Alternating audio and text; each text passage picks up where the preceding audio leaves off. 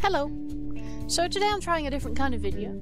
Um, I hope that you like it. Today I'm going to be doing some uh, narration over this thing, because I decided to make a goose. Um, my job involves basically teaching people 3D, and a lot of the times because of that I don't get to do a lot of 3D myself, um, and often I don't really have the time to do it, so I had a couple of hours spare and I thought to myself, you know, let's just try and do something here. Let's just try and uh, make something really cool and see what I can do within a couple of hours.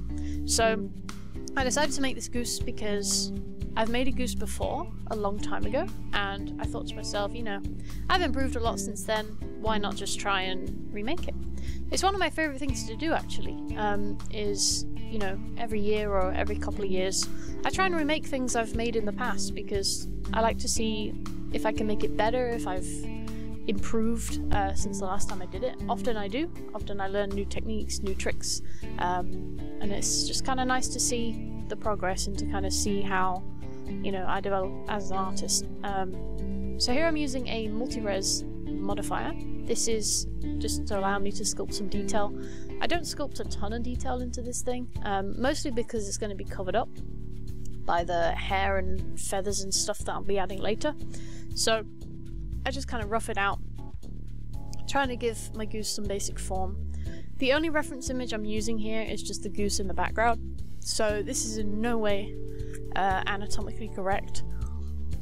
There's no sort of technique really being used here. Um, it's just a case of trying to just make it look a little bit more detailed than what it was previously.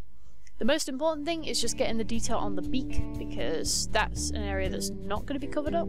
So I wanted to make sure that, you know, I had enough detail there to kind of sell it as this beak, but I wasn't too worried about it. Because the thing is, you know, the the beak area is going to have some really detailed texturing done on it anyway because I'm going to be using a clone painting technique so I don't need to worry too much about um, the shape of the beak.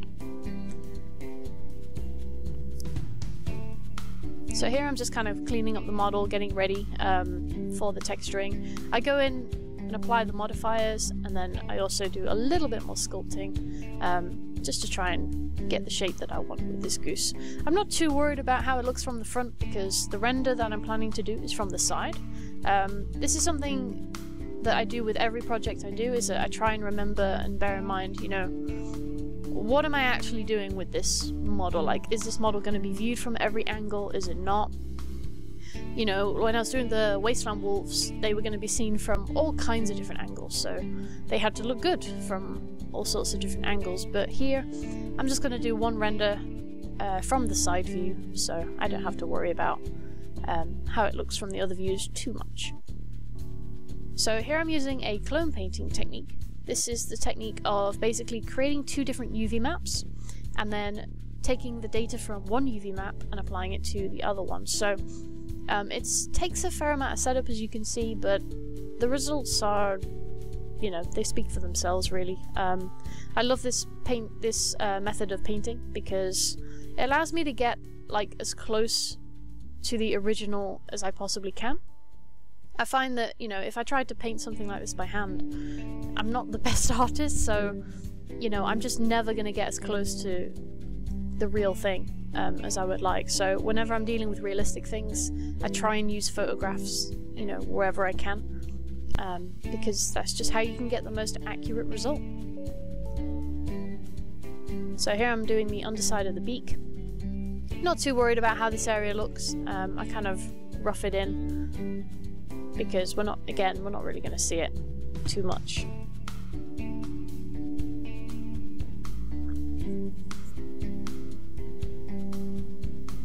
I hate texturing so much. it's one of my least favorite uh, aspects of 3D because it just takes so long um, to do. Like, yeah, it's just, it's never something I felt I've been particularly good at. Um, it's an area that I'm kind of working on, but just hate doing it.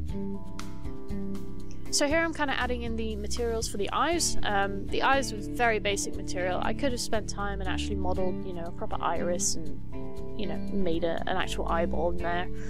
But I didn't have a ton of time, so Instead, I just used a sphere and then just gave it a very reflective uh, material. Here I'm grabbing a background. I ended up not using the background um, because I quite liked how the HDRI looked, so I did delete it in the end, but this is something that I use a lot. I like using background images because, you know, they just save you so much time. Um, people don't really pay too much attention to the backgrounds in a shot like this, so I just have to use a heavy amount of depth of field to make sure the background's nice and blurry, and then I can pretty much put whatever image I want there um, to sort of make it look decent. Because the idea of this particular render is that the focus is on the goose, so I don't want to worry too much about the background. So here I'm adding some fur. Um, I decided to go down the fur route rather than creating individual feathers, mostly just for time, because as I said, I didn't have a ton of time to spend on this. Um, but I quite liked how it turned out. I find that with fur you can cheat a lot. Um, people ask me all the time, you know, how do you create fur? How do you create fur? And like, honestly, most of it's just down to the textures that you use. Like, just make sure your textures are really, really good, and the fur will look great on top of that. Um, pay attention to, you know, the direction of it. Like, look at the animal, look at images of the animal, and see, you know, where does the fur lay? How does it lay? How many strands are there? How thick are the strands? And just try and mimic that as close as you possibly can. That's really the key to doing it.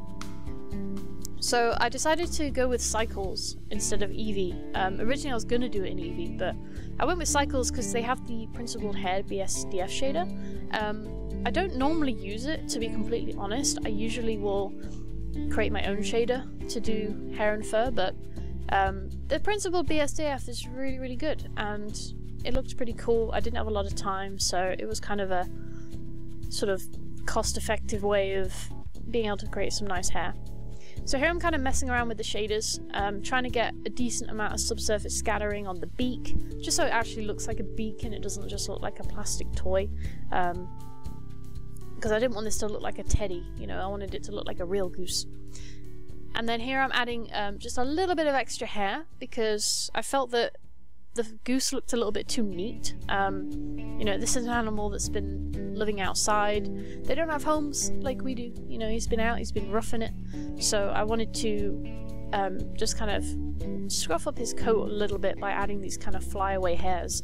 I find that this can add a lot of realism to your creatures because you know, no creature is perfect. Like that is the thing, you know. When it, whenever you're doing something realistic, um, the computer is very good at making realistic things, making very accurate things, but in reality, you know, that's just not how it is. Um, so here I'm kind of doing some test renders. I prefer to render it rather than keep previewing it in the sort of viewport because I find the viewport starts to get really slow and really bogged down.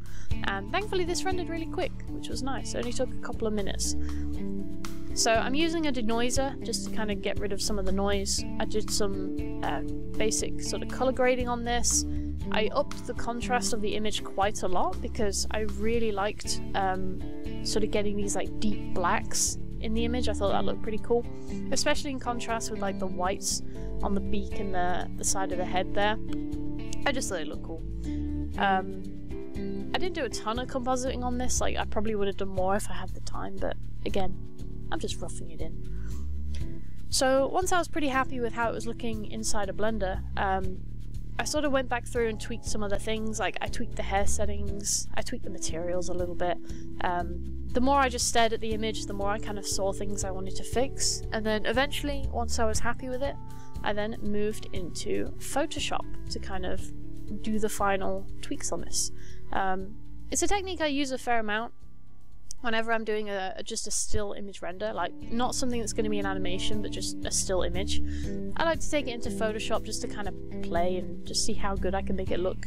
Um, one thing I really enjoy doing is kind of adding these like black bars to the top and bottom of the image to kind of make it look as if it was a, a shot from a film. I like giving it this kind of movie look. Um, I find that it can make the images look really realistic and make them look very professional. So I added a little bit of film noise, a bit more color grading, and then it was pretty much ready. So I hope that you guys have enjoyed this uh, video. I know it's a bit different to my usual content, but I felt like doing something a little different, and I'll see you all in the next one.